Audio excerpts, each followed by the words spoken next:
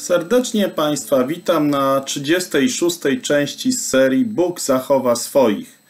Dzisiejszy odcinek, czy Bóg zachowa swoich, to jest odcinek, który można by zatytułować Wiara bez uczynków martwa jest sama w sobie.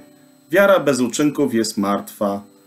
I jeżeli weźmiemy teraz Słowo Boże z Efezjan, drugi rozdział, 8 do 10 wersetu, możemy tam przeczytać słowa, które mówią wyraźnie o tym, że wiara bez uczynków martwa jest sama w sobie. Nasze zbawienie oparte jest tylko i wyłącznie na łasce Bożej.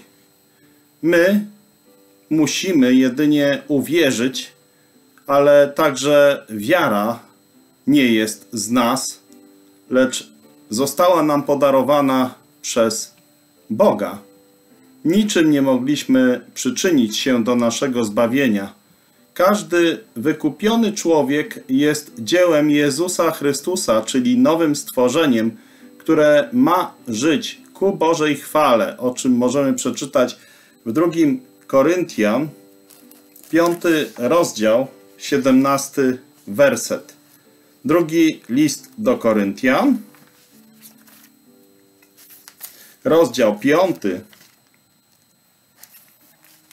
siedemnasty werset.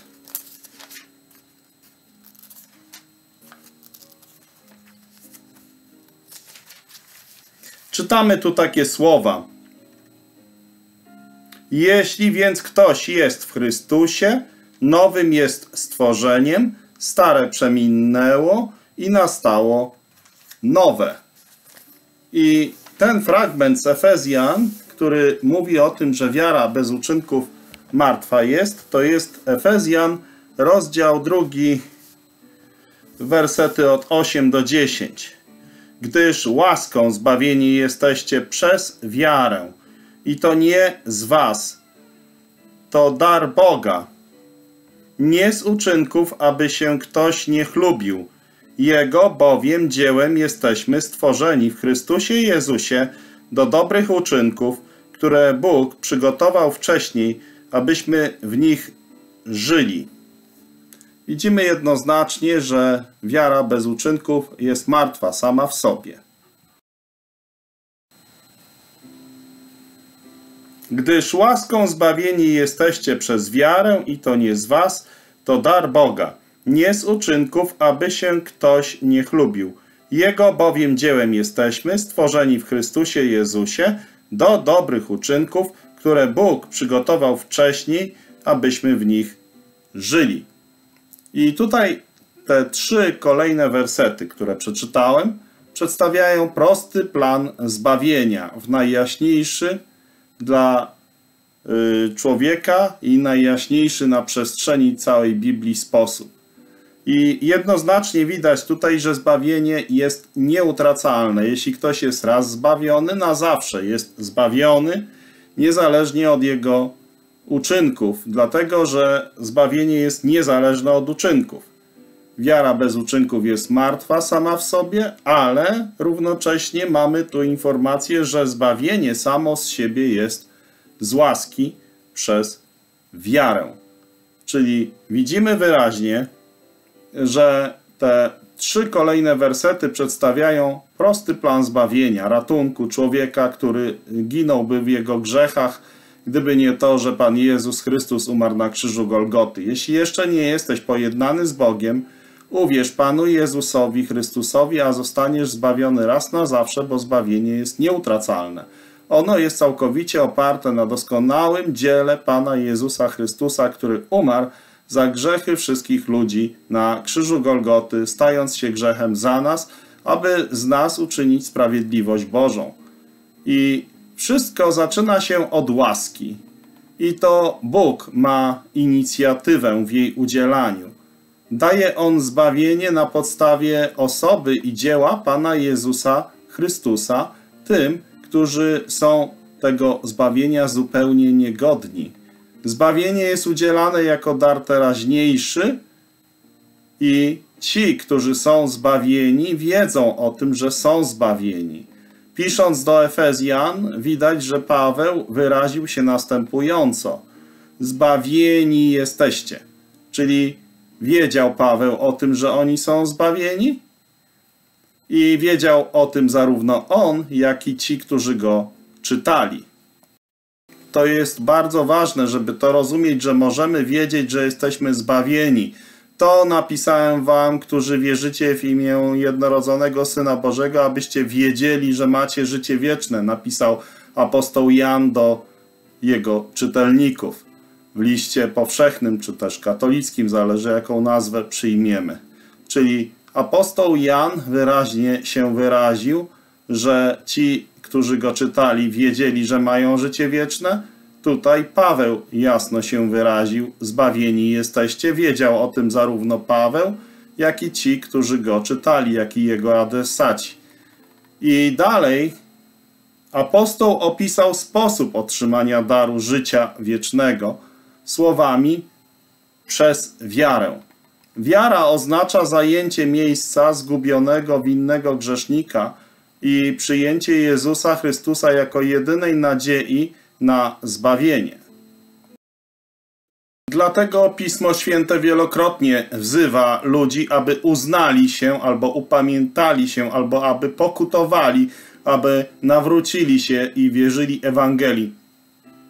Uznać się należy przed Bogiem za zgubionego grzesznika zgubionego, winnego grzesznika i przyjąć ratunek od Pana Jezusa Chrystusa jako jedynej szansy, jedynej nadziei na zbawienie.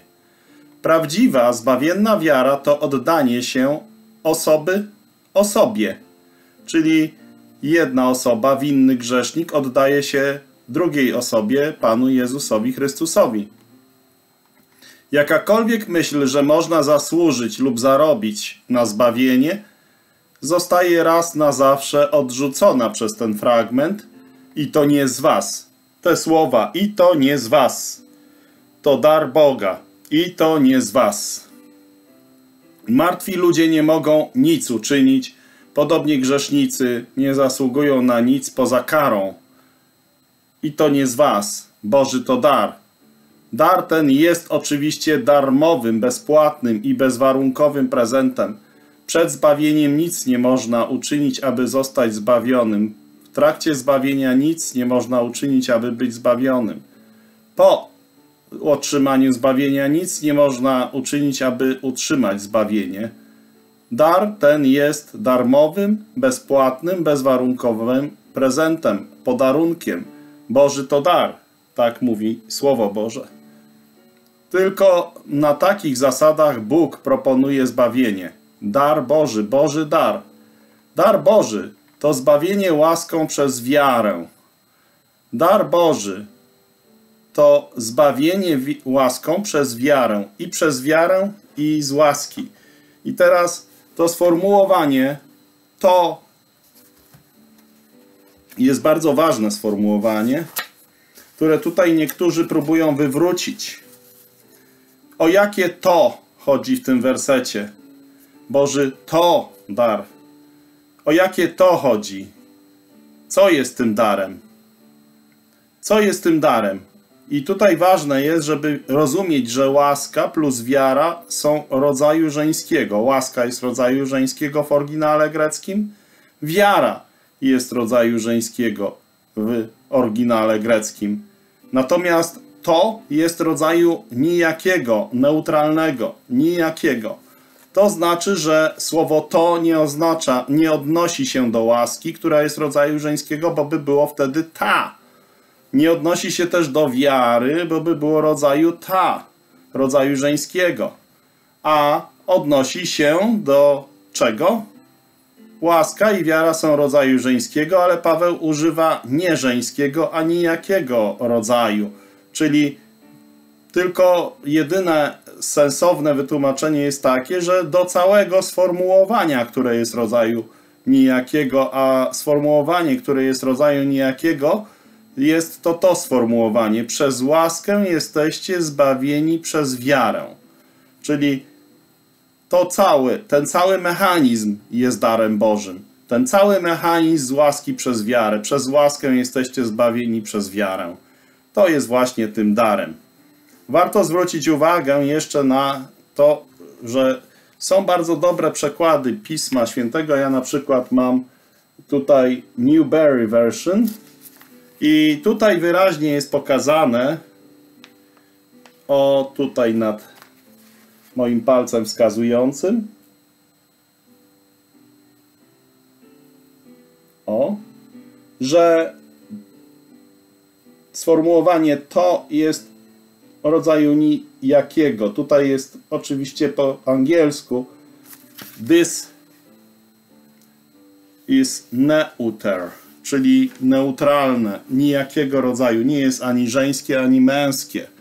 To jest bardzo ważne, żeby to rozróżnienie uchwycić, dlatego że niektórzy próbują uczynić y, tutaj pewnego rodzaju przekłamanie, bo co prawda wiara jest darem Bożym, ale nie jest tak, żeby to przeakcentować w tym fragmencie, dlatego że tutaj ten cały mechanizm jest darem Bożym.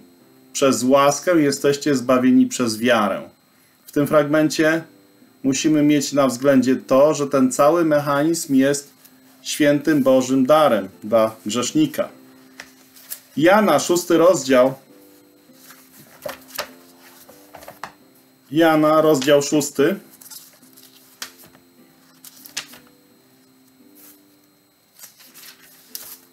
Dwudziesty ósmy, dwudziesty dziewiąty werset.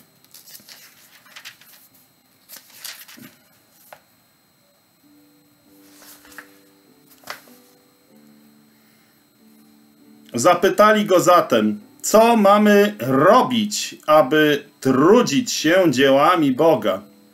W odpowiedzi Jezus powiedział im: To jest dzieło Boga.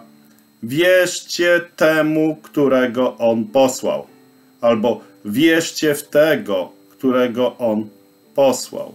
Czyli widzimy, co mamy robić, aby trudzić się dziełami Boga?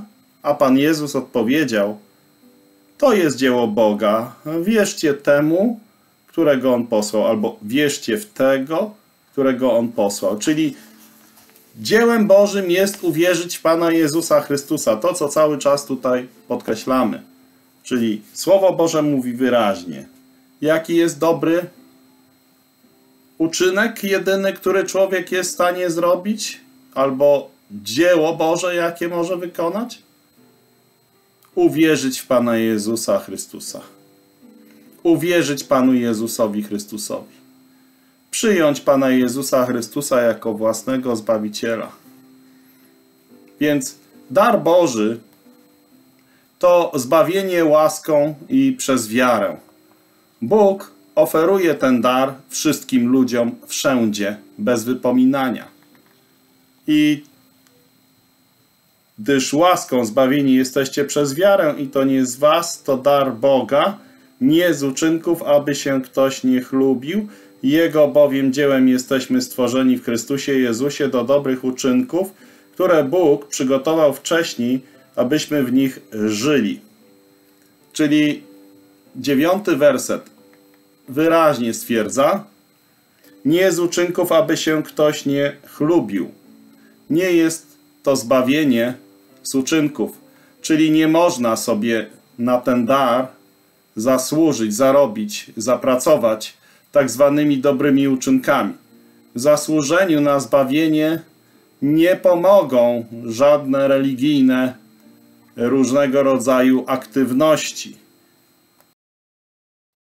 A niestety fałszywe religie próbują przedstawić różne aktywności religijne jako potrzebne do zbawienia. Więc zasłużeniu na zbawienie nie pomogą na przykład konfirmacja, bierzmowanie, chrzest, członkostwo w kościele, członkostwo w zborze, członkostwo w organizacji, uczęszczanie do zboru, bycie na wszystkich religijnych spotkaniach. Komunia, święta czy też łamanie chleba to nie pomaga w zbawieniu. Próby zachowywania dziesięciu przykazań przekazanych Żydom na górze generalnie nie ma takiej opcji żeby to cokolwiek pomogło do zbawienia, to może co najwyżej doprowadzić do potępienia, jeśli ktoś tych dziesięciu przykazań chce zrobić swoją drogę zbawienia. Życie według wytycznych na kaza w kazaniu na górze tak zwanym, tak? Czyli y, mamy dwa kazania na górze w Biblii opisane. Jedno kazanie to jest z góry oliwnej, a drugie to jest tak zwane kazanie na górze opisane m.in. Mateusza 5 rozdział. To też nie pomaga w zbawieniu. Łożenie na cele charytatywne też nie pomaga. Bycie tak zwanym dobrym sąsiadem, który mówi zawsze dzień dobry, to też nie pomaga w zbawieniu. Życie moralne i cieszące się szacunkiem ludzi, to też, choć jest przez wielu wymieniane jako droga zbawienia, nie pomaga w zbawieniu. Ludzie nie są zbawieni przez uczynki. Nie są też zbawieni przez wiarę oraz uczynki, czyli przez taki komplet, uczynki plus wiara. Niektórzy próbują takie coś wymyśleć. Zwłaszcza utracalnicy się w tym specjalizują. Oni nie negują wiary, oni mówią, że wiara plus dobre uczynki zaprowadzą cię do nieba. A to nieprawda. Jeżeli odrzucasz wiarę jako jedyną podstawę zbawienia, to pomysł, że wiara plus uczynki cię gdzieś zaprowadzi, to jest pomysł na to, żebyś znalazł się w piekle dlatego że obrażasz Boga. Zbawienie otrzymują wyłącznie przez wiarę. Momencie, kiedy dodamy jakąkolwiek ilość jakichkolwiek uczynków do warunków uzyskania życia wiecznego, zbawienie przestaje pochodzić z łaski. I w ogóle się tego zbawienia wtedy nie otrzymuje. Możemy o tym przeczytać w Rzymian 11 rozdział 6 werset. Rzymian, rozdział 11, werset szósty. Jeśli zaś z łaski, to już nie z uczynków, bo inaczej łaska nie byłaby już łaską. Widzimy wyraźnie, jeśli z łaski, to już nie z uczynków. Jednym z powodów, dla którego uczynki są wyłączone z warunków zbawienia, jest zapobiegnięcie ludzkiej pysze. Gdyby ktoś mógł uzyskać zbawienie przez uczynki, miałby powód, aby się chwalić. Właśnie tak jest, że ci, którzy wierzą, że zbawienie można utracić, jeśli się nie będzie przestrzegało wytycznych wyznaczonych przez jakąś ich religię, to wtedy ci ludzie się chlubią, że oni jeszcze zachowują sobie zbawienie, utrzymują, czyli nie z bojaźnią i drżeniem swoje zbawienie sprawują, tylko z chwałą i pochwałą samych siebie ich w ich mniemaniu zbawienie sprawują. To jest oczywiście błędna droga, która prowadzi na wieczne zatracenie. Jeśli pokładasz ufność w czymkolwiek innym niż doskonałe dzieło Pana Jezusa Chrystusa, albo w kimś innym niż doskonały Pan Jezus Chrystus, to idziesz do piekła na wieki. Więc niestety jest wielu takich, którzy chlubią się przed Bogiem. Bóg nie dopuszcza takiej możliwości, o czym czytamy w Rzymian, trzeci rozdział, 27 werset. Rzymian, rozdział trzeci, werset 27 brzmi tak. Gdzie więc chluba? Wykluczona. Przez które prawo uczynków? Nie, ale przez prawo wiary. Uważamy bowiem, że człowiek jest usprawiedliwiany przez wiarę, niezależnie od uczynków prawa. Więc widzimy wyraźnie, Bóg nie dopuszcza takiej możliwości, aby ktoś był usprawiedliwiony na podstawie prawych uczynków. Gdyby ktokolwiek mógł otrzymać zbawienie na podstawie swoich dobrych uczynków, śmierć Chrystusa nie byłaby potrzebna. Chrystus umarłby niepotrzebnie. I tak właśnie jest z utracalnikami. Oni uważają, że Chrystus umarł niepotrzebnie. Oczywiście głośno żaden z nich tego nie powie, i powie, że tak, Chrystus był potrzebny, potrzebnie umarł, ale jak wchodzisz w szczegóły, okazuje się, że zupełnie nie jest im potrzebny do niczego poza ozdobą na ich budynku, żeby się nazywać chrześcijanami. Galacjan, rozdział 2, 21 werset. Nie lekceważę łaski Bożej, bo jeśli sprawiedliwość jest przez prawo, to Chrystus umarł na darmo. Wiemy natomiast, że powodem śmierci Pana Jezusa Chrystusa, że powodem Jego śmierci był brak jakiejkolwiek innej możliwości ratunku dla winnych grzeszników. Gdyby ktokolwiek mógł otrzymać zbawienie na podstawie swoich dobrych uczynków, byłby własnym, swoim własnym Zbawicielem i mógłby oddawać samemu sobie cześć. Czyli znowu jest to duch antychrysta, gdy ktoś uważa, że zbawienie można utracić, bo samego siebie sadza na tronie Zbawiciela. Takie postępowanie byłoby bałwochwalstwem, a Bóg przeciwstawia się bałwochwalstwu, o czym czytamy w drugiej Mojżeszowej, 20 rozdział, trzeci werset. Druga Mojżeszowa, 20 rozdział, trzeci werset brzmi tak. Nie będziesz miał innych bogów obok mnie.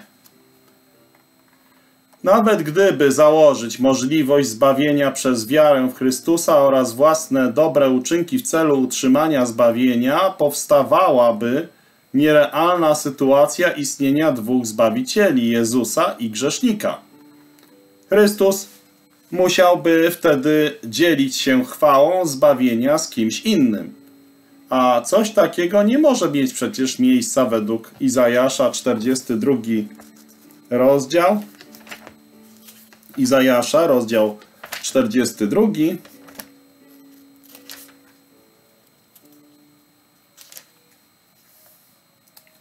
Werset 8. Ja Pan, ja Jachwech, takie jest moje imię. Mojej chwały nie oddam nikomu, ani mojej czci bożyszczom. Czyli ja Jachwech, takie jest moje imię.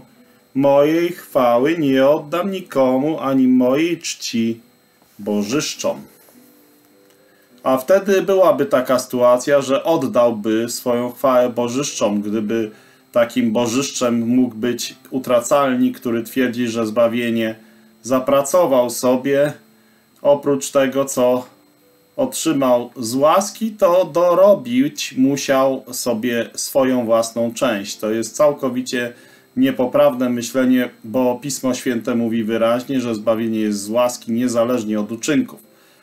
Wreszcie, gdyby ktokolwiek mógł mieć wkład w swoje zbawienie za pomocą swoich dobrych uczynków albo swoich jakichkolwiek uczynków, Bóg miałby względem niego dług, byłby dłużnikiem takiego grzesznika.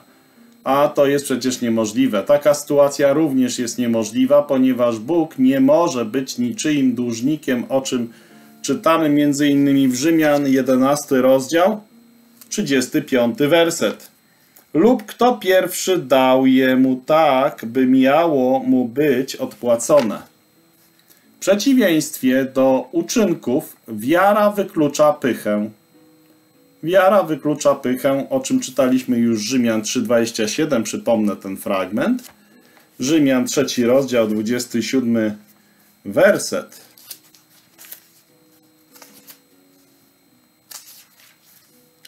Gdzie więc chluba Twoja? Wykluczona. Przez które prawo? Uczynków?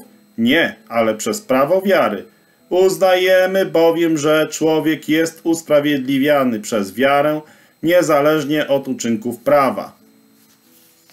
Czyli wyraźnie widzimy, że jest to całkowicie w przeciwieństwie do uczynków wiara wyklucza pychę, ponieważ nie zawiera ona elementu zasługi, nie zawiera elementu zapracowania. Oczywiście nie mamy nie mamy powodu do dumy z tego powodu, że zaufaliśmy Panu Jezusowi. Wierzyć w Niego to najrozsądniejsza, najbardziej racjonalna i najmądrzejsza rzecz, jaką można sobie wyobrazić. Właściwie zaufanie swojemu Stwórcy i Odkupicielowi jest jedynym logicznym rozwiązaniem.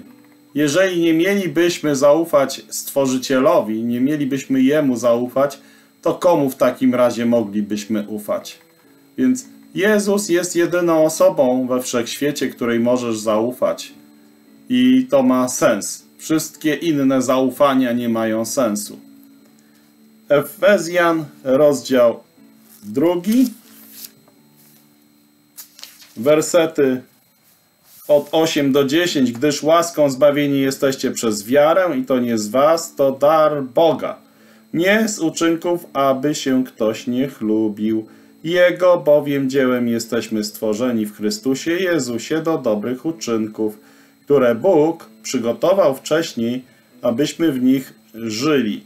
Przechodząc teraz do dziesiątego wersetu, Jego bowiem dziełem jesteśmy stworzeni w Chrystusie Jezusie do dobrych uczynków, które Bóg przygotował wcześniej, abyśmy w nich żyli.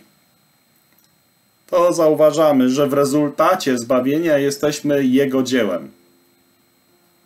Uczynieni przez Boga, nie sami z siebie. Nowonarodzony wierzący jest arcydziełem Boga. Kiedy pomyślimy o surowcach, z jakich Bóg go stworzył, Boże osiągnięcie staje się jeszcze bardziej wspaniałe. W rzeczywistości to arcydzieło to nic innego jak nowe stworzenie przez połączenie z Chrystusem. I już czytaliśmy drugi list do Koryntian, piąty rozdział, 17 werset. Ja go jeszcze raz przeczytam, bo jest to werset, który mocno nawiązuje tutaj do tego wersetu z Efezjan. Czyli drugi list do Koryntian, piąty rozdział, 17 werset. Jeśli więc ktoś jest w Chrystusie, nowym jest stworzeniem. Stare przeminęło i nastało nowe. Czyli widzimy wyraźnie, że jeśli ktoś jest w Chrystusie, nowym jest stworzeniem. Stare przeminęło, oto wszystko stało się nowe. Tak mówi Słowo Boże w drugim liście do Koryntian, 5 rozdział, 17 werset. Cel tego nowego stworzenia znajdujemy w wyrażeniu z Efezjan 2:10 do dobrych uczynków. Jego bowiem dziełem jesteśmy stworzeni w Chrystusie Jezusie do dobrych uczynków, które Bóg przygotował wcześniej, abyśmy w nich żyli.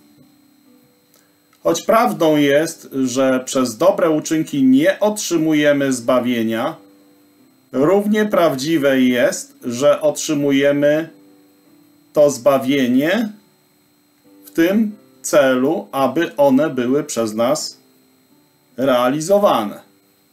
Czyli one nie są korzeniem, nie są źródłem, ale są konsekwencją, są tym, co wypływa z życia chrześcijanina. Czyli też możemy wydawać owoc w każdym dobrym uczynku. Uczynki nie są owocami, owoce nie są uczynkami, ale owoce są w każdym dobrym uczynku, dobre owoce. Nie staramy się po to, aby uzyskać zbawienie, ale dlatego, że jesteśmy zbawieni, możemy z radością wolności chrześcijańskiej realizować cele, które wcześniej były dla nas niedostępne. Przed nawróceniem nie mogliśmy realizować dobrych uczynków. Ten element nauki o zbawieniu podkreśla również właśnie list Jakuba, drugi rozdział od 14 do 26 wersetu. Jakuba, drugi rozdział od 14. Może przeczytam od 9. Lecz jeśli wyróżniacie jednych przed drugimi, popełniacie grzech, jako uznani przez prawo za przestępców. Ktokolwiek bowiem zachowałby całe prawo, a potknął się w jednym, stałby się winien wszystkiego. Bo ten, który powiedział nie cudzołóż, powiedział też nie zabijaj. Jeśli więc nie cudzołożysz, ale zabijasz, stałeś się przestępcą prawa. Tak mówcie i tak czyńcie, jak ci, którzy mają być sądzeni przez prawo wolności.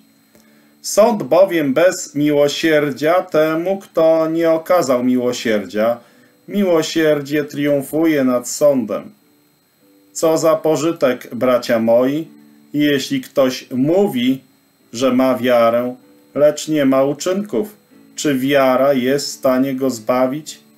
Jeśli brat albo siostra są nadzy i pozbawieni są codziennego pożywienia, a ktoś spośród was im powie: idźcie w pokoju, ogrzejcie się i nasyćcie, nie zaspokajając jednak potrzeby ich ciała, jaki z tego pożytek, tak i wiara, jeśli nie ma uczynków, martwa jest sama w sobie. Lecz powie ktoś: Ty masz wiarę, a ja mam uczynki. Pokaż mi wiarę swoją bez uczynków, a ja ci pokażę wiarę z moich uczynków. Ty wierzysz, że Bóg jest jeden?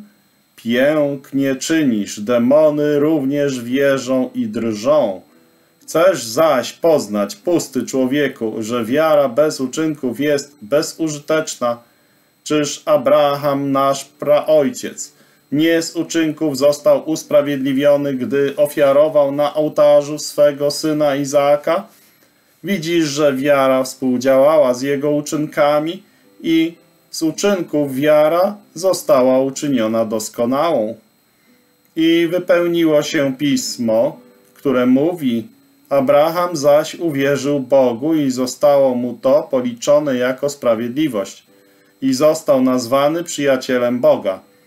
Widzicie, że człowiek zostaje usprawiedliwiony z uczynków, a nie jedynie z wiary. A podobnie i Rahab, nierządnica, czy nie z uczynków została usprawiedliwiona, gdy przyjęła posłów i wypuściła inną drogą? Bo jak ciało bez ducha jest martwe, tak i wiara bez uczynków jest martwa. Kiedy Jakub mówi, że wiara bez uczynków jest martwa, to nie chodzi mu o to, że zbawienie uzyskuje się na podstawie wiary i uczynków, ale na podstawie takiej wiary, z której wypływają dobre uczynki. Uczynki udowadniają pewne fakty.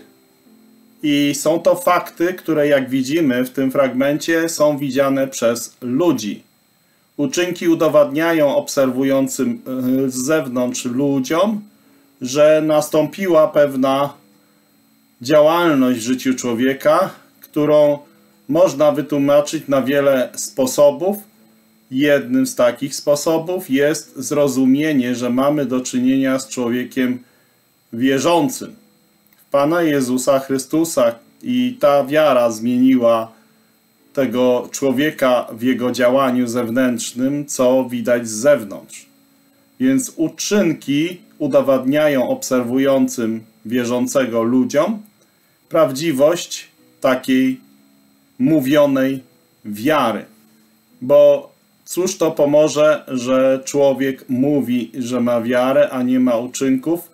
Czy taka wiara dla ludzi z zewnątrz jest widoczna? Apostoł Paweł zgadza się z tym w pełni. Mówi wyraźnie, Jego bowiem dziełem jesteśmy, stworzeni w Chrystusie Jezusie do dobrych uczynków. Boży początek życia z człowiekiem jest taki, że daje mu Ducha Świętego do środka i ożywia takiego zbawionego człowieka, który poprzednio był umarły w grzechach i upadkach. Czyli przeżył już pierwszą swoją śmierć i gdyby się nie nawrócił, czekałaby go druga śmierć w momencie, gdy umarłoby jego ciało. A skończyłaby się ta druga śmierć trafieniem na wieki wieków ogień wieczny, gdzie byłby dręczony dniem i nocą na zawsze w jeziorze ognia i siarki. I dlatego uratowany przez Pana Jezusa człowiek umiera tylko raz przed poznaniem Chrystusa w grzechach i upadkach umiera, a drugi raz już nie umiera, bo śmierć nie ma nad nim żadnej mocy w momencie, gdy uwierzył w Pana Jezusa. I dlatego się mówi o wierzących, że oni zasnęli w prochu. Więc Boży porządek jest następujący. Najpierw wiara, potem albo równolegle z wiarą zbawienie, następnie zaczyna działać w życiu człowieka Duch Święty i wypracowywać pewnego rodzaju zmiany, które mogą zaowocować owocami ducha, owocami warg, wysławiającymi imię Pana Jezusa, owocami pokoju przez tych, którzy pokój czynią. I te owoce ujawniają się w dobrych uczynkach. I potem, gdy już nastąpi zabranie wierzących do nieba w czasie pochwycenia, to po pochwyceniu będą nagrody.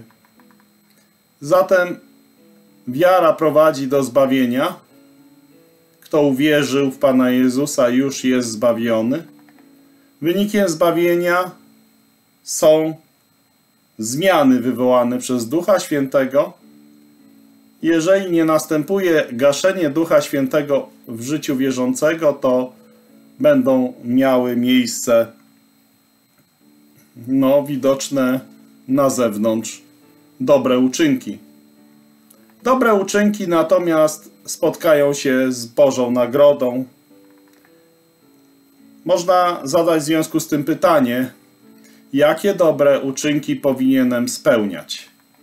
Paweł odpowiada dobre uczynki, do których przeznaczył nas Bóg, abyśmy w nich chodzili. Inaczej mówiąc, Bóg ma projekt życia każdego chrześcijanina. On zaplanował nam duchowe kariery jeszcze przed naszym nawróceniem. Do nas należy odkrycie Jego woli, zrozumienie Jego woli, abyśmy ścigali tego, co jest miłe Panu i posłuszeństwo wobec tej odkrytej woli. Oczywiście robimy to odkrycie za pośrednictwem Biblii, bo Słowo Boże jest to Słowo w Biblii. Chcesz słyszeć głos Boga? Czytaj Biblię. Chcesz głośno i wyraźnie słyszeć głos Boga? Czytaj Biblię głośno i wyraźnie. I bądź posłuszny, bo Słowo Boże jest jak pochodnia świecąca w ciemnym miejscu. Pochodnia oświetla nam tylko kilka kroków do przodu. To nie jest nowoczesna latarka typu LED, to jest pochodnia, więc ona oświetla pierwszy krok, a drugi krok oświetla już słabiej, a trzeci krok to już jest tylko pusta ciekawość. Jeśli nie zrobisz pierwszego kroku, który oświetla ci Słowo Boże jako obowiązek dla ciebie, co cię obchodzi, co będzie w drugim i w trzecim kroku? Nie jest to w ogóle istotne. Dlatego zrób ten pierwszy krok, który oświetla ci Słowo Boże. Jak go postawisz, to znowu będziesz miał oświetloną drogę na jeden krok do przodu, bo Słowo Boże jest jak pochodnia świecąca w ciemnym miejscu. Więc pochodnia to nie jest reflektor.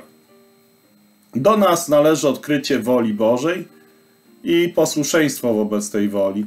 Jeśli nie będziesz posłuszny, no to kolejne świecenie światła nie będzie oświetlać już Twojej drogi, tylko drogę kogoś innego. Bo Twoja droga, jeśli nie zrobiłeś tego kroku, który oświetlało Ci Słowo Boże, już przez Ciebie będzie wtedy już zagubiona. Będziesz na czymś innym, będziesz w innym miejscu. Nie musimy wypracowywać planu na życie, a jedynie przyjąć ten plan, który Bóg dla nas zarysował. Oszczędza nam to wielu trosk i rozczarowań oraz zapewnia nas to, że nasze życie będzie przynosiło jak największą chwałę Panu Jezusowi Chrystusowi, jak największe błogosławieństwo innym i jak największą satysfakcję nam samym. Aby odkryć, jakie dobre uczynki Bóg zaplanował dla każdego z nas osobna, powinniśmy wyznawać i porzucać grzechy, kiedy tylko je sobie uświadomimy. Powinniśmy trwać w bezwarunkowym posłuszeństwie. Poddanie Bogu ma być bezwarunkowe, bezdyskusyjne, bez kombinowania. Tak jak mówiłem, Słowo Boże jest pochodnią świecącą w ciemnym miejscu. Pochodnia oświetla tylko pierwsze kroki, jeden krok, czasem na dwa, ale nie dalej. Więc jeśli nie będziesz trwać w bezwarunkowym poddaniu Bogu, no to nie będziesz znał prawidłowej drogi Bożej. Także ważne jest, aby to Słowo Boże czytać, czytać Biblię, Pismo Święte, studiować Słowo Boże, starając się rozpoznać Jego wolę, Bożą wolę, a następnie wykonywać wszystko, co Słowo Boże nam nakazuje. Każdego dnia spędzać też powinniśmy czas na rozmowie z Bogiem, modlitwie. Modlitwa to jest rozmowa, czyli ja mówię do Boga, gdy w myślach lub na głos mówię do Boga, co chcę do Boga skierować. A druga część modlitwy to jest czytanie Słowa Bożego, kiedy to Bóg do mnie odpowiada. Więc biorę Biblię i czytam, i to jest dopiero modlitwa. Modlitwa to jest rozmowa z Bogiem, a nie mój monolog do Boga. I modlitwa nie musi się odbywać na głos i nie musi się odbywać publicznie. Wyraźnie to widzimy, że Pan Jezus mówi, aby zamknąć się w swojej komorze i modlić się. Albo też, jeżeli niewiasta ma się modlić z nakrytą głową, to ze względu na aniołów ma mieć nakrytą głowę, nie ze względu na ludzi a w ukryciu widzą ją właśnie aniołowie, ludzie niekoniecznie. Choć oczywiście także w publicznym miejscu, jeśli ma modlić się, mężczyzna ma mieć odkrytą głowę, a kobieta ma mieć nakrytą głowę. Kolejna ważna rzecz to chętnie powinniśmy wykorzystywać pojawiające się okazje do służby Bożym ludziom i Bogu. Czyli chcemy pomóc Bogu, no ale to nie jest możliwe. Natomiast chcemy, aby inni ludzie skorzystali z pomocy Bożej, to jest możliwe. Więc realizując to, że łaska Boża najszerzej się rozchodzi, to wtedy, jeżeli najszerzej się rozchodzi łaska Boża, pomagasz tym ludziom, którzy korzystają z tej łaski Bożej. Także bardzo ważne jest, żeby pielęgnować społeczność z innymi chrześcijanami i zasięgać ich rad. I Bóg przygotowuje nas do dobrych uczynków. Przygotowuje też dobre uczynki, abyśmy je pełnili, wykonywali. A na koniec nagradza nas za ich spełnianie. Tak wielka jest Boża łaska. Tak więc widzimy, że Skoro Słowo Boże tak jasno sprawę przedstawia, że wiara bez uczynków martwa jest, to jest to dowód nieutracalności zbawienia. Sprawa wiecznego zbawienia, nieutracalnego zbawienia, czy też jak czasem się mówi, wiecznego zachowania, jest bardzo prosta. I w zakłopotanie wpędza tylko tych ludzi, którzy po prostu nie ufają Słowu Bożemu, i to jest bardzo ważne, żeby rozumieć to, że tylko ludzie, którzy nie rozumieją Słowa Bożego, nie mają ugruntowanego studium Słowa Bożego, mogą podejmować próby nieuznawania nieutracalności zbawienia. Czyli ci, którzy wierzą, że zbawienie można utracić, robią tak ze względu na ich właśnie cielesne podejście do sprawy, a nie duchowe uwierzenie Panu Jezusowi Chrystusowi. Więc musimy pamiętać, żeby rozumieć, że prawda o wiecznym zbawieniu, albo innymi słowy o wiecznym bezpieczeństwie wszystkich członków Chrystusa, to jest bardzo ważna nauka Pisma Świętego. I to jest właśnie bardzo ważne, żeby rozumieć, że to tylko Duch Święty musi być naszym nauczycielem i tylko On może wtedy nas nauczyć, jeśli całkowicie pozwolimy Mu podporządkować nasze myśli Biblii, tak abyśmy mogli mieć właściwe poznanie kwestii nieutracalności zbawienia. Jeśli chodzi o kwestię wiecznego zbawienia, czyli raz zbawiony, na wieki zbawiony, to jest to bardzo łatwa i prosta rzecz. Pod warunkiem jednak, że będziemy na nią patrzeć tak, jak na to patrzy Chrystus. I jest to jedyny właściwy sposób patrzenia na każdą prawdę, bowiem Chrystus jest centrum i życiem każdej prawdy. Chrystus jest duszą każdej prawdy. Prawda oddzielona od Chrystusa staje się martwym, pozbawionym mocy, bezwartościowym dogmatem, zwykłą ideą w ludzkim umyśle, punktem w wyznaniu wiary. Musimy więc patrzeć na każdą prawdę w taki sposób, w jaki ona jest związana z Chrystusem. Musimy Jego uczynić naszym punktem widzenia. Wtedy, gdy jesteśmy blisko Niego i patrzymy na wszystko z Jego punktu widzenia, możemy mieć właściwe rozeznanie. Jeśli sam siebie uczynię moim punktem widzenia i tak spojrzę na sprawę wiecznego zbawienia, to z całą pewnością spojrzenie moje będzie całkowicie pomylone, błędne, ponieważ wówczas będzie to sprawa mojego zachowania, mojego działania w celu utrzymania zbawienia, mojego działania w celu niestracenia zbawienia. A przecież cokolwiek pochodzi ze mnie, to musi być z natury wątpliwe. Jeśli jednak będę patrzył na ten temat oczami Chrystusa i z Jego punktu widzenia, to wówczas mogę być pewny, że będę miał właściwe poznanie. Patrząc na rozważane zagadnienie nieutracalności zbawienia z pozycji Chrystusa, cała sprawa sprowadza się do tego, czy świat, nasza cielesna natura lub zło mogą kiedykolwiek przeszkodzić wiecznym zachowaniu przez Pana Jezusa tych, których wykupił On swoją własną krwią. Wiemy przecież, że On może zbawić na zawsze tych, którzy przez Niego przystępują do Boga. Tak, możemy przeczytać w Hebrajczyków siódmy rozdział. Hebrajczyków siódmy rozdział, 25 werset. Dlatego też może na zawsze zbawić tych, którzy przez Niego przychodzą do Boga, ponieważ zawsze żyje, aby wstawiać się za nimi. Czyli widzimy wyraźnie, że Pan Jezus Chrystus może na zawsze zbawić tych, którzy przez Niego przystępują do Boga.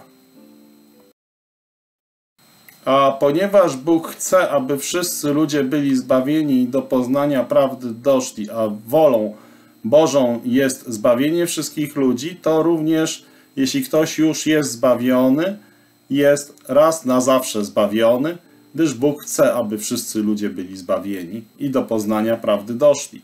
Jeśli ktoś bowiem skorzysta z doskonałego ratunku, to już w tym momencie ma to zbawienie raz na zawsze. I teraz, jeśli chodzi o Hebrajczyków 7:25, jak czytaliśmy, też może na zawsze zbawić tych, którzy przez Niego przychodzą do Boga, ponieważ zawsze żyje, aby wstawiać się za nimi.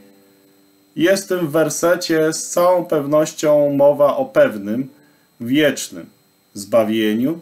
Nie ma żadnego znaczenia, jakie mogłyby powstać trudności lub też jakie wrogie siły mogłyby działać, bowiem On jest tym, który może zbawić na zawsze. Dlatego też może na zawsze zbawić tych, którzy przez Niego przychodzą do Boga, ponieważ zawsze żyje, aby wstawiać się za nimi. Czyli widzimy wyraźnie, że On może zbawić na zawsze tych, którzy przez Niego przystępują do Boga. Jest On tym, który może zbawić na zawsze. Świat z jego tysiącami sideł jest przeciwko nam. Lecz Pan Jezus Chrystus, On może. Nasza grzeszna natura z tysiącami porządliwościami jest przeciwko nam. Lecz Pan Jezus Chrystus, On może. Szatan z jego tysiącami pokus jest przeciwko nam. Lecz Pan Jezus, On może. Jest to oczywiście możliwość Chrystusa, a nie nasza. Jest to ostateczne i pewne zachowanie przez Chrystusa, a nie przez nas samych.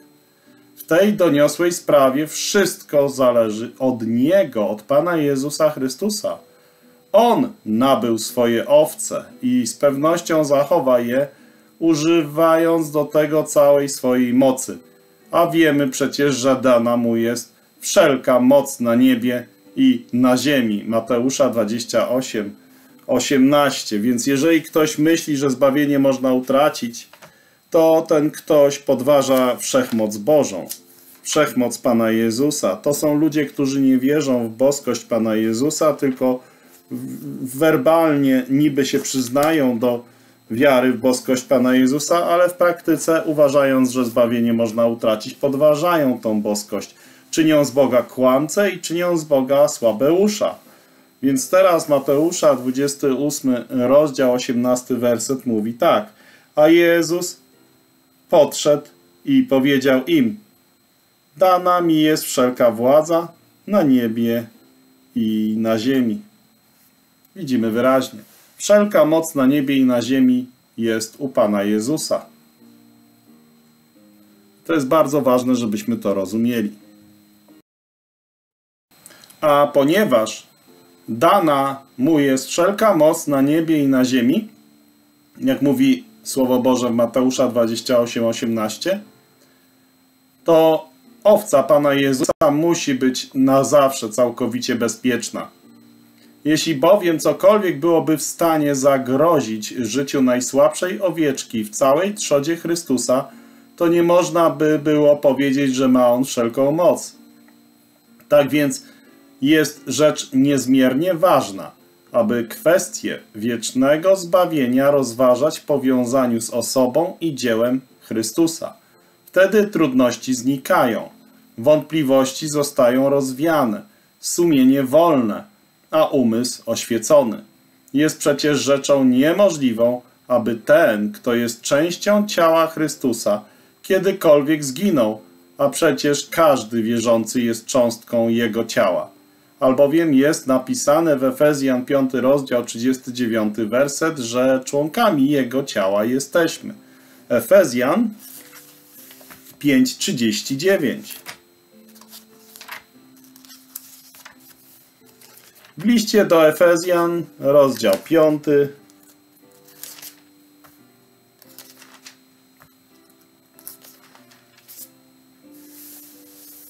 Trzydziesty dziewiąty werset.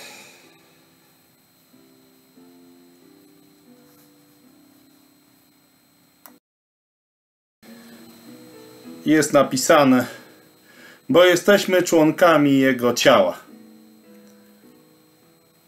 30 werset, nie 39. Bo jesteśmy członkami Jego ciała. Tak wyraźnie mówi Słowo Boże.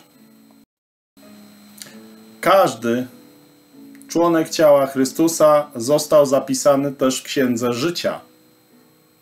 Księdze Życia Baranka i nic, i ani też nikt nie jest w stanie tego zapisu wymazać. Więc jeżeli Możemy ufać Panu Jezusowi, bo On jest doskonałym naszym przyjacielem, to możemy wziąć pod uwagę, co Pan Jezus Chrystus mówi o tych, którzy są Jego własnością. On mówi w Jana, 10 rozdział, Owce moje głosu mojego słuchają i ja je znam, a one idą za mną.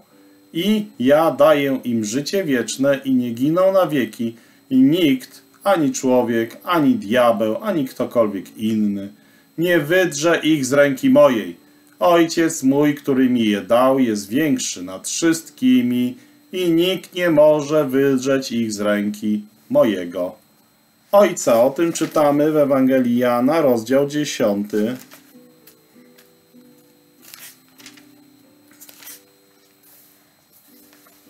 Widzimy tutaj tak.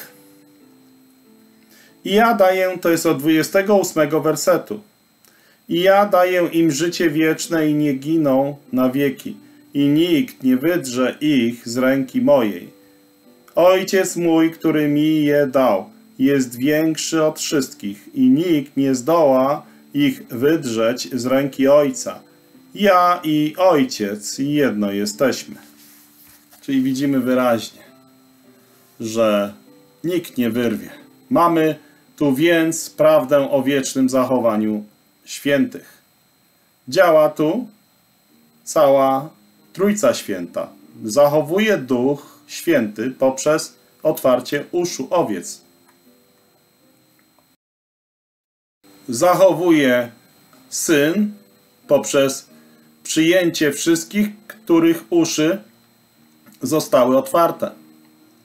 Zachowuje Syn poprzez przyjęcie wszystkich, których uszy zostały otwarte po to, żeby weszła w nie Ewangelia. A także zachowuje Ojciec poprzez trzymanie w dłoni trzody nabytej krwią Jezusa. Jesteśmy ukryci wiecznej Bożej dłoni. Jest to bardzo jasne, dostatecznie oczywiste. Musimy albo uznać tę prawdę, prawdę pocieszającą i podtrzymującą na duchu, o tym, że człowiek raz zbawiony jest na wieki zachowany, albo ulec bluźnierczemu twierdzeniu, że wróg Boga, czy też człowiek może postawić na swoim, działając wbrew, czy też przeciwko wiecznej trójcy. Nie może być bowiem żadnej alternatywy pośredniej. Zbawienie jest od Pana. Od początku do końca. Jest ono bezwarunkowe, wieczne, dawane darmo i pewne. Dosięga ono dna, gdzie znajduje się grzesznik w całej swojej winie, ruinie, poniżeniu i wynosi go do góry, gdzie znajduje się Bóg w całej swej świętości, prawdzie i sprawiedliwości. To zbawienie jest wieczne, trwa na wieki. Bóg jest źródłem, Bóg Ojciec jest źródłem tego zbawienia. Bóg Syn jest jego kanałem, a Bóg Duch Święty jest jego mocą i radością. Wszystko więc jest z Boga. Wszystko od początku do końca, od fundamentu do dachu, od wieczności do wieczności. Gdyby tak nie było, byłoby głupotą i zarozumiałością mówić o pewności zachowania, ale ponieważ widzimy ze Słowa Bożego, iż tak jest, mówienie inaczej jest niewiarą, zabobonem i przesądem. Jest prawdą, że istnieją wielkie, różnorodne trudności, na naszej drodze życia. Chodzi o praktyczne chodzenie, brudzenie stóp. Trudności te są zarówno przed nawróceniem, jak i po nawróceniu. Po nawróceniu jest ich nawet więcej. Na naszej drodze stoi wielu potężnych wrogów, ale właśnie to jest powodem, dla którego prawdę o wiecznym zachowaniu zbawionych musimy rozważać w oparciu o Bożą moc, a nie w oparciu o naszą słabość. Nie ma znaczenia, w najmniejszym stopniu, jakie mogłyby być trudności, jacy przeciwnicy, gdyż nasza wiara triumfalnie pyta. To możemy przeczytać w Rzymian 8 rozdział 31 werset. Nasza wiara triumfalnie pyta, jeśli Bóg za nami, któż przeciwko nam? Rzymian 8, 31. Rzymian 8:31. Co więc na to powiemy? Jeśli Bóg za nami, któż przeciwko nam? Widzimy wyraźnie. I też dalej tu znajdujemy, któż nas odłączy od miłości Chrystusowej, czy utrapienie, czy ucisk, czy prześladowanie, czy głód, czy nagość, czy niebezpieczeństwo, czy miecz. Jak napisano, z powodu Ciebie, codziennie nas zabijają, uważając nas za owce ofiarne, ale w tym wszystkim zwyciężamy przez tego, który nas umiłował, albowiem jestem tego pewien, że ani śmierć, ani życie, ani aniołowie, ani potęgi niebieskie, ani teraźniejszość, ani przyszłość, ani moce, ani głębokość, ani wysokość, ani żadne inne stworzenie nie zdoła nas odłączyć od miłości Bożej, która jest w Jezusie Chrystusie, Panu naszym. Wyraźnie mówi o tym Słowo Boże. Tutaj również mamy naukę o pewności zachowania wierzącego wyrażoną w sposób najjaśniejszy i najmocniejszy, gdyż czytamy, że żadne inne stworzenie nie zdoła nas odłączyć od Boga. To znaczy ani moje ja we wszystkich jego formach, ani szatan we wszystkich podstępach i machinacjach, ani też świat we wszystkich jego powabach nie może nas odłączyć od miłości Bożej, która jest w Chrystusie Jezusie, Panu naszym. Niewątpliwie ludzie mogą zostać okłamani, zwiedzeni, pomyleni i mogą zwodzić innych, błądząc sami innych błąd wprowadzając, jak to robią na przykład ci, którzy uważają, że zbawienie można utracić. Mogą mieć miejsca rzekome nawrócenia, czyli ludzie nie nawrócą się naprawdę, tylko nawrócą się tak jak Żydzi z ósmego rozdziału Ewangelii Jana, albo jak te demony, które wierzą i drżą. I ci Żydzi uwierzyli w Pana Jezusa, ale innego niż On jest naprawdę i potem próbowali prawdziwego Pana Jezusa zamordować przez kamienowanie. Tak samo się dzieje z tymi, którzy uwierzą w fałszywego Jezusa, to gdy przedstawia im się prawdziwego Jezusa, nienawidzą tych, którzy im prawdziwego Jezusa przedstawiają. Więc mogą mieć miejsce rzekome nawrócenia. Ludzie mogą przez jakiś czas biec dobrze, a potem nagle załamać się. Po wiosennych kwiatach mogą nie nastąpić owoce jesieni. Takie rzeczy mogą się zdarzyć. A ponadto prawdziwie wierzący mogą też upaść w wielu rzeczach. Mogą się potknąć, mogą się załamać w swoim życiu. Mogą też oni znaleźć dostateczny powód do sądzenia samych siebie, dopuszczając możliwie najszerszy margines dla wszystkich tych rzeczy. Kosztowna prawda o wiecznym zachowaniu zbawionych pozostaje nie tylko niewzruszona, ale nawet nietknięta, bowiem opiera się ona na boskim fundamencie, który brzmi: Ja im daję życie wieczne. Nieczasowy, niewarunkowy, ja im daję życie wieczne i nie giną na wieki. Tak jak czytaliśmy dzisiaj w Ewangelii Jana, 10 rozdział. Czytamy też w Słowie Bożym, że na tej opoce zbuduję kościół mój, a bramy piekielne nie przemogą go. Czytamy to w Mateusza 16 rozdział 18 werset. Jest to werset mówiący o tym, że zbawienie jest nieutracalne. Na tej opoce zbuduję kościół mój, a bramy piekielne nie przemogą go. Ludzie mogą dowodzić czego chcą i opierać swoje argumenty na przypadkach, ale patrząc na tę sprawę z Bożego punktu widzenia i opierając nasze przekonanie na pewnym, nieomylnym Słowie Bożym, Biblii, Piśmie Świętym, jesteśmy pewni, że wszyscy, którzy należą do nas, jak mówi Rzymian 8 rozdział, do owiec, jak mówi Jan 10 rozdział, i do kościoła, jak mówi Mateusza 16 rozdział, są tak bezpieczni, jak to Chrystus jest w stanie uczynić ich bezpiecznymi. I to jest treść i całość nauki o pewności wiecznego zachowania wierzących. I teraz, jeżeli ten dzisiejszy temat, wiara bez uczynków martwa, jest, jest podnoszony, to tutaj pojawiają się pewne pytania. Czy wierzący człowiek będzie zbawiony bez względu na to, w jaki rodzaj grzechu mógłby upaść i umrzeć w nim? Prawdziwie wierzący człowiek z pewnością będzie zbawiony, bowiem zbawienie obejmuje nie tylko uwolnienie od konsekwencji grzechu, przeszłości, lecz również od mocy i trwania grzechu.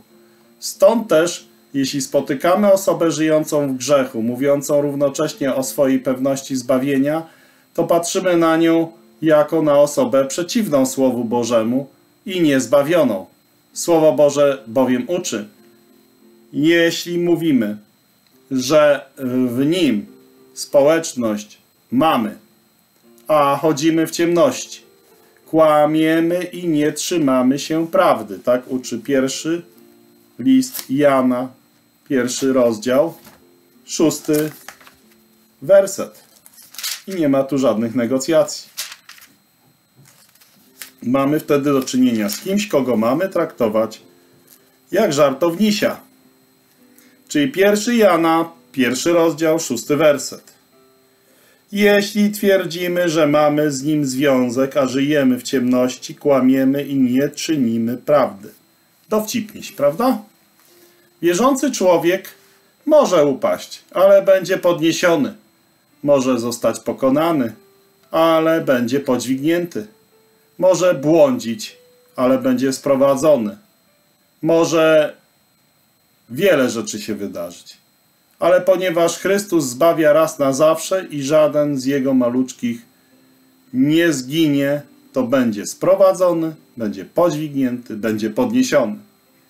I kolejne pytanie, które rodzi się w związku z tą kwestią, że wiara bez uczynków martwa jest, to jest takie, czy Duch Święty może przebywać w sercu, które oddaje się złym i brudnym myślom. Ciało wierzącego człowieka jest świątynią Ducha Świętego, jak uczy nas pierwszy list do Koryntian, szósty rozdział, dziewiętnasty werset. Ta kosztowna prawda jest wezwaniem do czystości serca i życia. Jesteśmy wezwani, abyśmy nie zasmucali Ducha Świętego, a oddawanie się złym i brudnym myślom nie jest w ogóle chrześcijańskim postępowaniem. I to jest bardzo ważne, żebyśmy to rozumieli. Chrześcijanin może być atakowany, zasmucany i nękany przez złe myśli, lecz w takim przypadku powinien on spojrzeć na Chrystusa, aby zwyciężyć. Właściwe chrześcijańskie postępowanie opisane jest w pierwszym liście Jana, piąty rozdział, osiemnasty werset. Pierwszy Jana 5:18.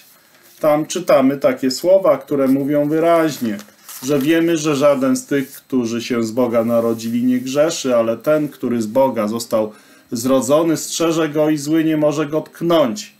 Pierwszy jest Jana 5,18. Wiemy, że nikt, kto został zrodzony z Boga, nie grzeszy, ale zrodzony z Boga strzeże go i zły go nie dotyka. Taka jest Boża strona tej sprawy. Niestety wiemy, że istnieje również i ludzka strona, ludzkie spojrzenie. Ludzką postawę osądzamy przez boską. Nie obniżamy Bożego poziomu, by osiągnąć ludzki, lecz mamy zawsze dążyć do Bożego poziomu. Nigdy nie powinniśmy się zadowalać niższym poziomem niż skazany w pierwszym liście Jana 5,18.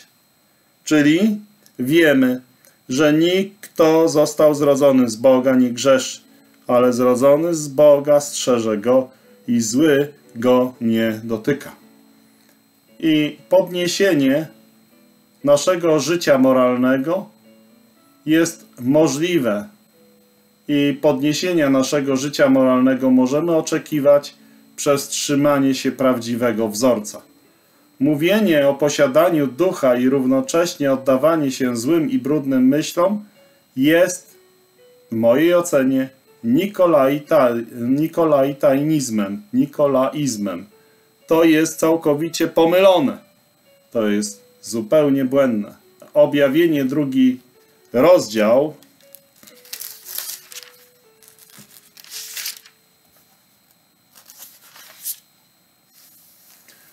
Szósty werset na przykład wspomina nikolaitanizm, czyli ale to masz, że brzydzisz się postępkami Nikolaitów, którymi i ja się brzydzę. Oraz piętnasty werset. Tak i ty masz takich, którzy podobnie trzymają się nauki Nikolaitów. Nikolaici to był głównie kler Kler, czyli księża, pastorzy, popi, starsi. To są tacy, którzy nie uznają tego, że po odejściu Pawła nie ma już powoływania, ordynowania starszych. Oni dalej sobie po swojemu robią i jak widać ze Słowa Bożego, to są wyjątkowo zdemoralizowane jednostki. I mówienie o posiadaniu ducha i równoczesne oddawanie się złym myślom też jest antynomianizmem. I to jest też błąd, antynomianizm. Bo antynomianizm to jest walka z przykazaniami Pana Jezusa. Niestety jest to też dość powszechny błąd. I teraz, jeżeli wiemy o tym, że zbawienie jest nieutracalne, bo tak Słowo Boże mówi, w tej zasadzie, że wiara bez uczynków martwa jest, no to jeśli istniałoby zachowanie wierzących, czy ludzie nie mówiliby, że mogą żyć jak im się podoba. Taki często pojawia się yy, no, durnowaty pomysł. No jak powinien żyć prawdziwy chrześcijanin? Tak jak Chrystus. Jeśli takie pytanie zadałby ktoś Pawłowi apostołowi, jaką otrzymałby odpowiedź? Odpowiedź jest w 2 Koryntian 5:14.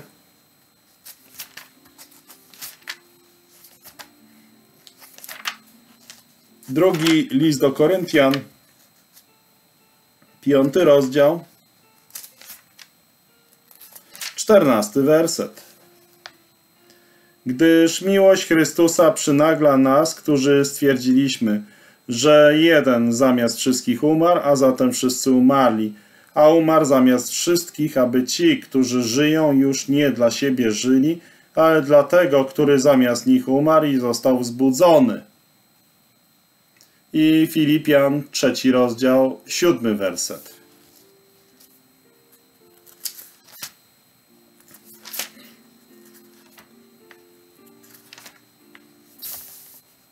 Filipian, trzeci rozdział, siódmy werset. Cokolwiek jednak było mi zyskiem, uznałem ze względu na Chrystusa za stratę.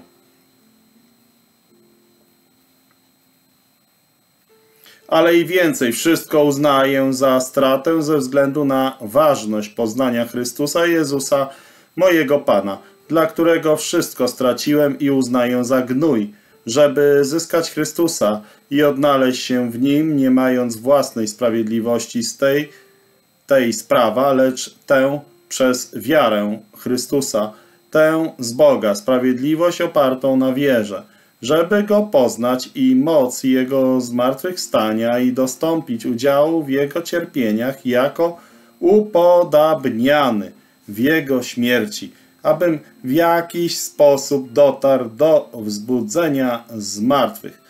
Nie, że już to posiadłem, albo że już jestem doskonały, ale dążę do tego, by pochwycić, ponieważ zostałem pochwycony przez Jezusa Chrystusa, Bracia, ja siebie nie uważam za kogoś, kto pochwycił, lecz jedno czynię, zapominając o tym, co za mną, a usilnie sięgając po to, co przede mną. Prę do celu, do nagrody, pochodzącego z góry Bożego powołania w Chrystusie Jezusie. I istnieje obawa, że osoby, które zadają takie pytania, bardzo mało wiedzą o Chrystusie.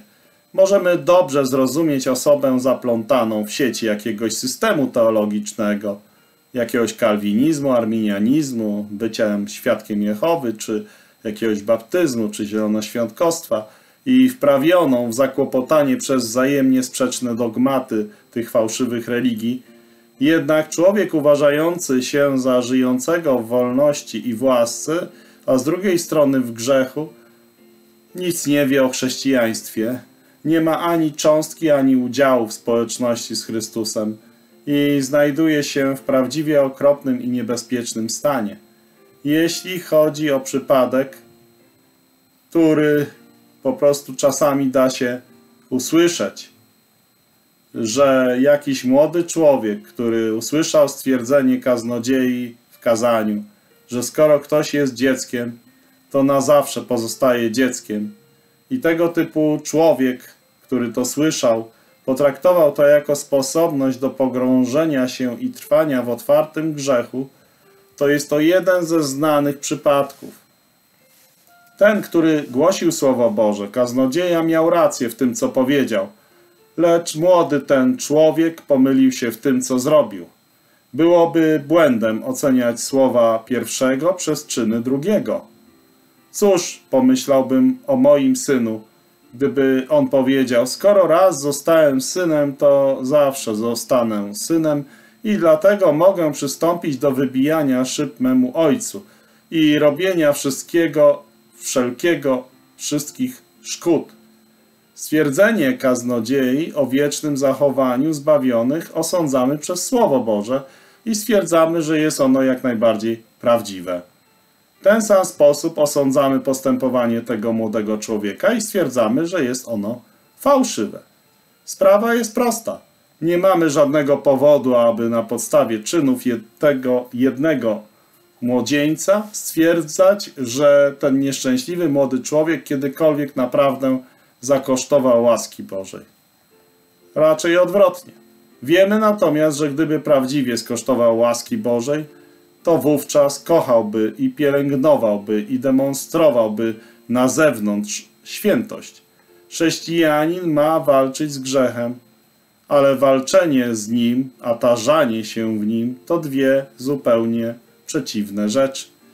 W pierwszym przypadku możemy liczyć na współczucie i łaskę Chrystusa, a w tym drugim przypadku faktycznie bluźnimy Jego imieniu przez sugerowanie, że jest on sługą grzechu. Osądzanie prawdy Bożej na podstawie ludzkich uczynków jest poważną pomyłką. Wszyscy, którzy tak osądzają, muszą dojść do fałszywych wniosków. Właściwa droga polega na odwróceniu tego fałszywego porządku. Mamy się najpierw trzymać Bożej prawdy i przez tą Bożą prawdę osądzać wszystko inne. Mamy ustalić Boże kryterium i oceniać wszystko przy pomocy Bożego kryterium. Mamy ustalić jedną wagę i według tej jednej wagi mierzyć ciężar każdego człowieka. Wag nie wolno regulować przez ciężar jakiegoś jednego człowieka, ale ciężar człowieka musi być określany na podstawie wagi. Jeśli 10 tysięcy wyznawców fałszywych miałoby odpaść i żyć w jawnym grzechu, to nie zachwiałoby to mojej ufności w boską naukę o wiecznym zachowaniu wierzących. To samo Słowo Boże, które dowodzi, że ta nauka jest prawdziwa, dowodzi też, że są ludzie w błędzie. Jest o nich napisane m.in. w pierwszym liście Jana, drugi rozdział, dziewiąty werset. Że wyszli spośród nas, lecz nie byli z nas. Gdyby bowiem byli z nas, byliby pozostali z nami, lecz miało się okazać, że nie wszyscy są z nas. Pierwszy list Jana, drugi rozdział, werset dziewiąty.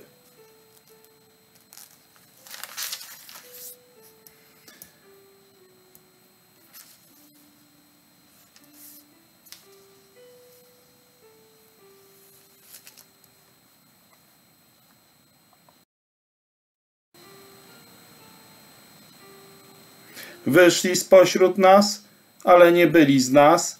Gdyby bowiem byli z nas, pozostaliby z nami, aby stało się jasne, że nie wszyscy są z nas. Pierwszy list Jana, drugi rozdział, werset dziewiętnasty, nie dziewiąty, jak przed chwilką się przejęzyczyłem.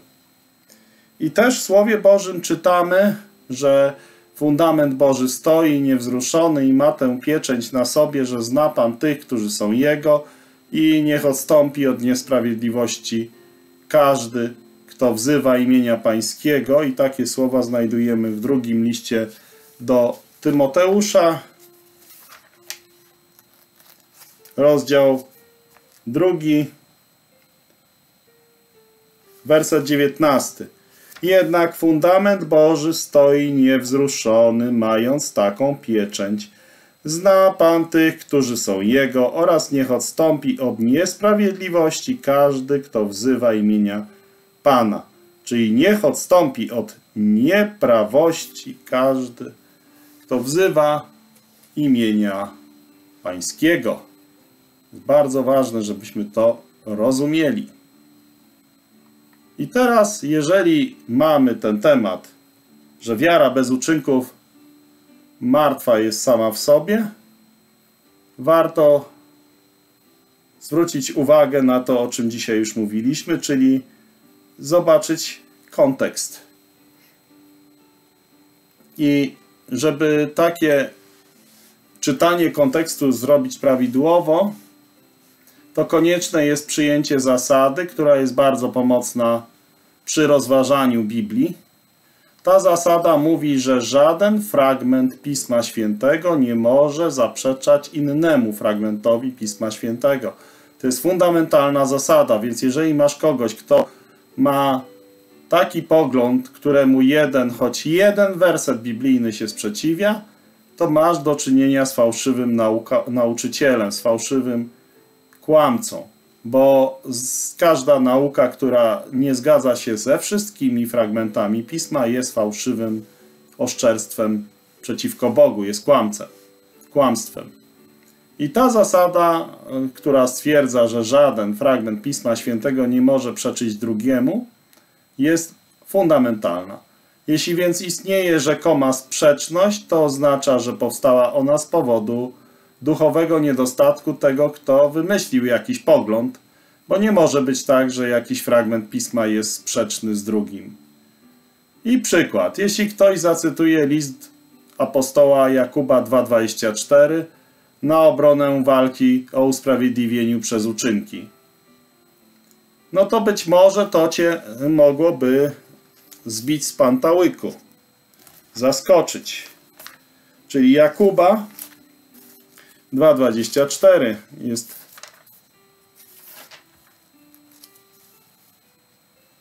Widzicie, że człowiek zostaje usprawiedliwiony z uczynków, a nie jedynie z wiary.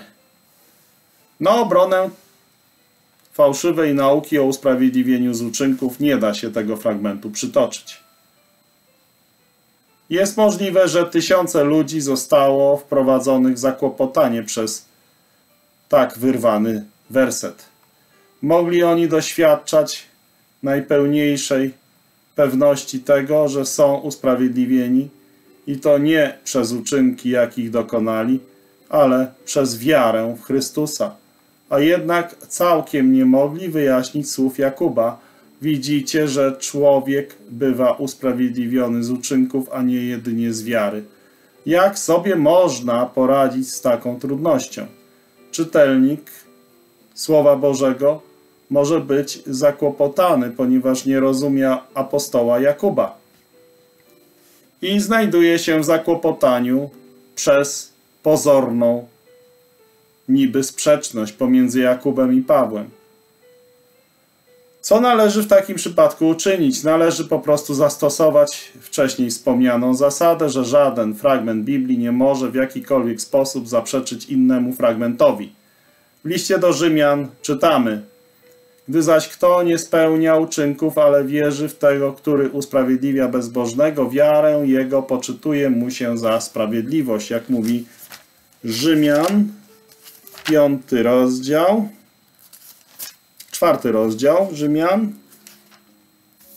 Rzymian, czwarty rozdział, piąty werset.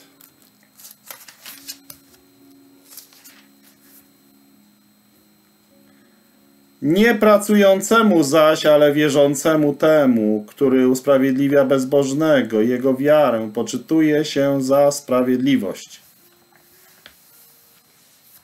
Odkrywamy tutaj że nie uczynki, ale wiara jest podstawą usprawiedliwienia.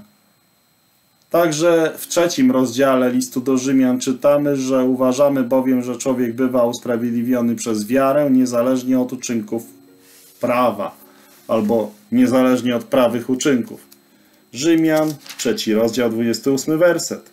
Uznajemy bowiem, że człowiek jest usprawiedliwiany przez wiarę, niezależnie od prawych uczynków albo niezależnie od uczynków prawa. Czyli widzimy wyraźnie, Słowo Boże jest taki amen. I także podobna myśl jest w Rzymian 5 rozdział, pierwszy werset. Usprawiedliwieni tedy z wiary pokój mamy z Bogiem. Rzymian 5 rozdział, werset Pierwszy, usprawiedliwieni zatem z wiary, pokój mamy z Bogiem przez naszego Pana Jezusa Chrystusa. Dokładnie taka sama jest nauka listu do Galacjan, gdzie znajdujemy pełno tego typu sformułowań. Na przykład, że wiedząc wszakże, że człowiek zostaje usprawiedliwiony nie z uczynków zakonu, a tylko przez wiarę w Jezusa Chrystusa i myśmy w Chrystusa Jezusa uwierzyli, abyśmy zostali usprawiedliwieni z wiary w Chrystusa, a nie z uczynków zakonu, ponieważ z uczynków zakonu nie będzie usprawiedliwiony żaden człowiek, jak mówi Galacjan 2:16. Galacjan rozdział drugi werset 16 Przekonani jednak, że człowiek jest usprawiedliwiany nie z uczynków prawa, a tylko przez wiarę Jezusa Chrystusa i my w Chrystusa Jezusa uwierzyliśmy, abyśmy byli usprawiedliwieni z wiary Chrystusa, a nie z uczynków prawa, gdyż z uczynków prawa nie będzie usprawiedliwione żadne ciało. We wszystkich miejscach Słowa Bożego, które tutaj już zacytowaliśmy, można też znaleźć takich miejsc znacznie więcej i więcej. Wiara podana jest jako podstawa usprawiedliwienia i to tak jasno, że zbłądzić tu nie można.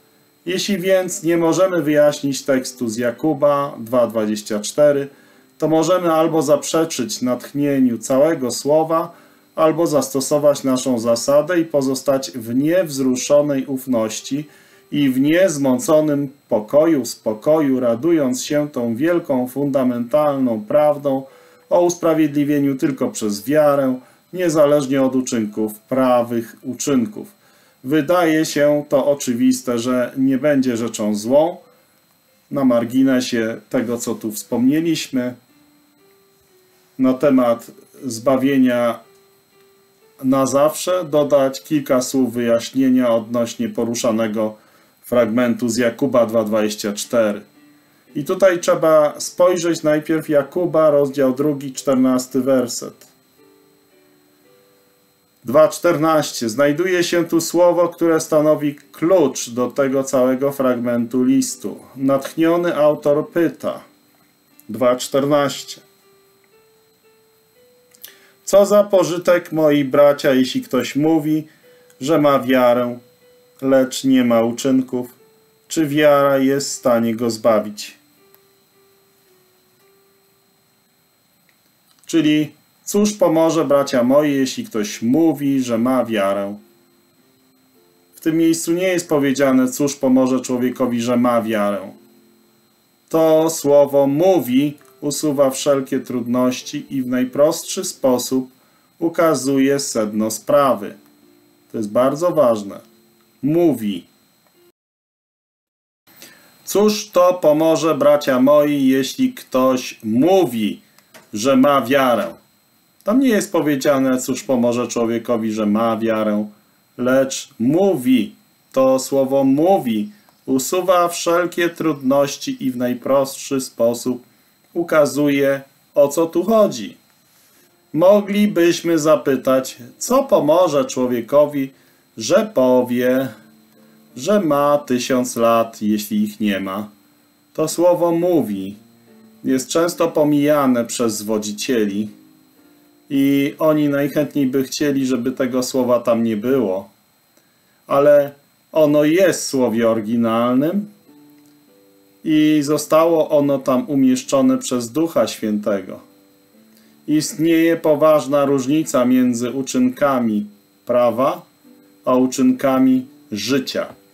Paweł gorliwie wyklucza uczynki prawe Jakub z taką samą gorliwością kładzie nacisk jedynie na uczynki życia. Uczynki Abrahama, czy Rahab, czy Samsona nie były uczynkami prawa, nie były prawymi uczynkami, lecz były uczynkami życia. Były one prawdziwymi uczynkami wiary, bez której uczynki nie posiadałyby żadnej wartości usprawiedliwiającej. jest rzeczą godną uwagi, że Duch Święty działając przez apostoła Pawła zwraca uwagę na uczynki Abrahama opisane w pierwszej Mojżeszowej 22 rozdział i na Rahab opisane w Jozue 2. Podobnie Duch Święty działając przez Jakuba zwraca uwagę na uczynki Abrahama i Rahab. Nie są tu przedstawione jakieś uczynki miłosierdzia. Przecież Rahab była prostytutką, była nierządnicą.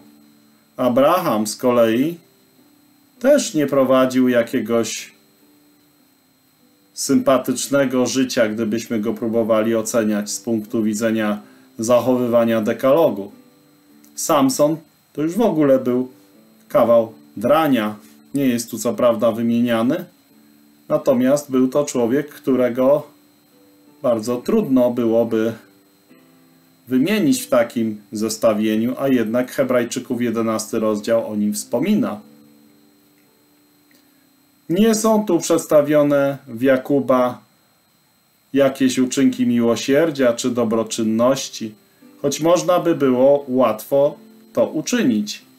Ale to są dwie ilustracje tezy udowadniające ponad wszelką wątpliwość usprawiedliwiającą wartość uczynków życia, a nie prawych uczynków, uczynków zakonu, uczynków prawa. Różnica zaś pomiędzy nimi jest taka, że uczynki prawa, prawe uczynki, uczynki zakonu, są to takie, które się spełnia, aby otrzymać życie. A uczynki życia są prawdziwymi owocami posiadanego życia, prawdziwymi konsekwencjami posiadanego życia. W każdym owocu dobrym, w owocu wydawanym w dobrych uczynkach. Życie zaś możemy otrzymać przez wiarę w Syna Bożego. Musimy też pamiętać, że najpierw musimy mieć życie, aby móc cokolwiek uczynić dla Boga. Życie otrzymujemy nie przez mówienie, że mamy wiarę, lecz przez jej faktyczne posiadanie. A gdy ją faktycznie posiadamy, bo jest powiedziane, że uwierzył Abraham Bogu, uwierz Pana Jezusa, ten, kto przystępuje do Boga, musi uwierzyć. To będziemy wydawać dobre owoce i to drogocenne owoce ku chwale Bożej. A więc jednoznacznie widzimy i wierzymy, nie tylko wierzymy, ale też widzimy, że Paweł i Jakub zgadzają się ze sobą. Widzimy, że oni się całkowicie zgadzają.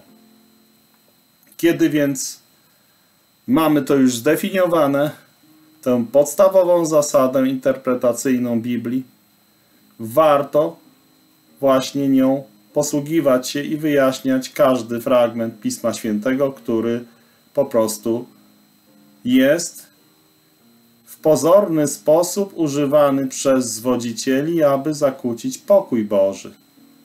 Na przykład zwodziciele używają fragmentu z 2 Piotra 2.1, że byli też fałszywi prorocy między ludem, jak i wśród was będą fałszywi nauczyciele, którzy wprowadzać będą zgubne nauki i zapierać się Pana, który ich odkupił, sprowadzając na się rychłą zgubę.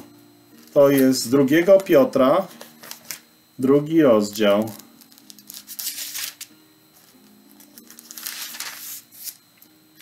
Pierwszy werset. Pojawili się jednak w ludzie również fałszywi prorocy, jak i między wami będą fałszywi nauczyciele, którzy pokryjomu wprowadzać będą zgubne herezje i zapierać się władcy, który ich wykupił, sprowadzając na samych siebie rychłą zgubę. I tutaj zwodziciele próbują kłaść akcent na tym, że wykrzywiają sformułowanie zapierać się Pana, który ich odkupił. Ale ta rzecz jest pozorna. Pan nasz posiada podwójne prawo do każdego mężczyzny, kobiety i dziecka pod niebem. Pan Jezus posiada bowiem prawo opierające się na stworzeniu i posiada prawo oparte na odkupieniu. Apostoł Piotr odwołuje się do tego drugiego prawa. Fałszywi nauczyciele będą się zapierać nie tylko Pana, który ich stworzył, ale także Pana, który ich odkupił. Odkupienie miało miejsce, jak czytamy innymi w Mateusza 13 rozdział, poprzez przelanie krwi za cały świat. Bo jest powiedziane tam, że człowiek, który znalazł skarb na polu, odszedł, sprzedał wszystko, co miał i kupił to pole. Pole to, to był świat. I wydobył sam skarb i odszedł z tym skarbem i radował się. Ale zapłacił za całe pole. Bóg chce, aby wszyscy byli zbawieni, do poznania prawdy doszli. I Pan Jezus złożył doskonałą ofiarę za grzechy wszystkich ludzi, za grzechy wierzących, a nie tylko wierzących, ale też całego świata. I to jest bardzo ważne, żeby nie ulegać błędom właśnie tak zwanych kalwinistów czy świadków Jehowy, którzy mówią, że Jezus umarł tylko za wybranych, a reszta musi sobie iść no, na spotkanie z Armagedonem albo z piekłem, że nic nie mogą po prostu skorzystać z łaski Bożej według tego fałszywego poglądu i potem powstają takie bzdury.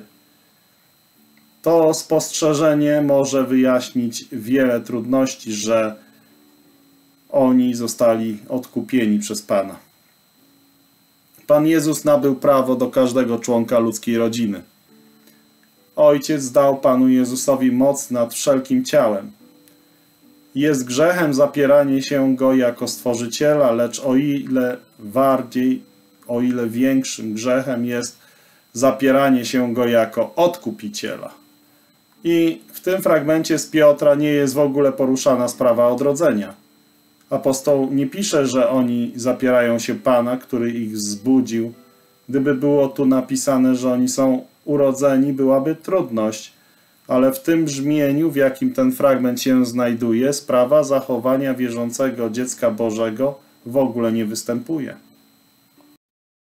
I również jest taki fragment też z Piotra, 2 Piotra 2, 20, 22, podnoszony, że jeśli bowiem przez poznanie Pana i Zbawiciela, Jezusa Chrystusa, wyzwolili się od brudów świata, lecz potem znowu w nieuwikłani dają się im opanować, to stan ich ostateczny jest gorszy niż poprzedni i że sprawdza się na nich treść owego przysłowia wraca pies do wymiocin swoich oraz umyta świnia znów się tarza w błocie.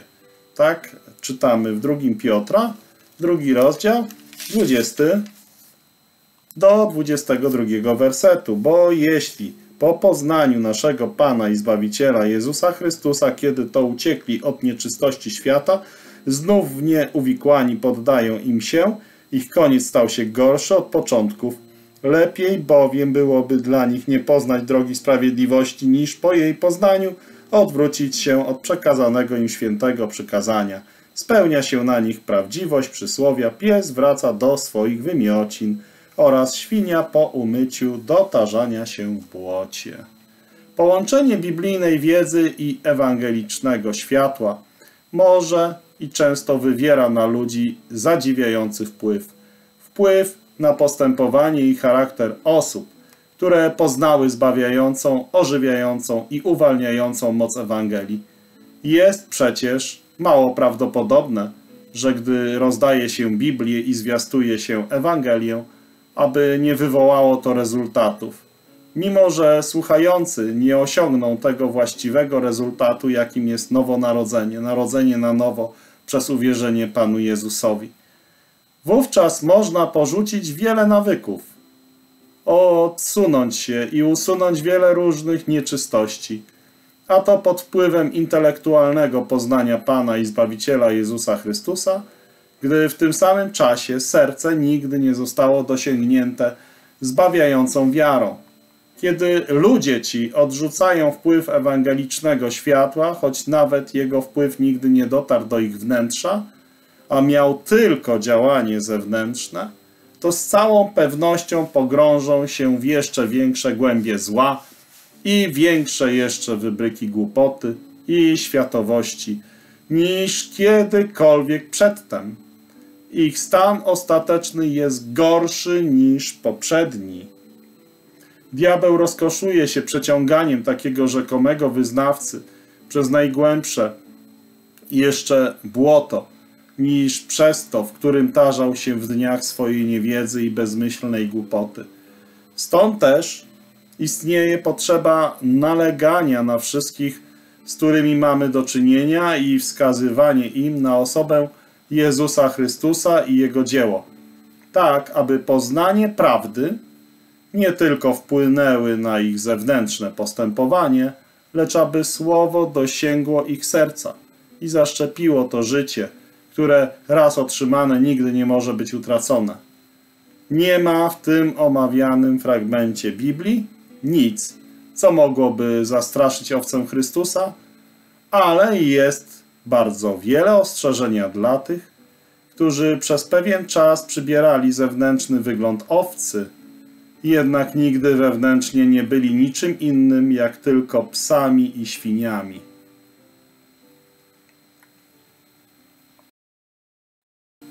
Tak więc serdecznie Państwu dziękuję za wysłuchanie 36. części Bóg zachowa swoich.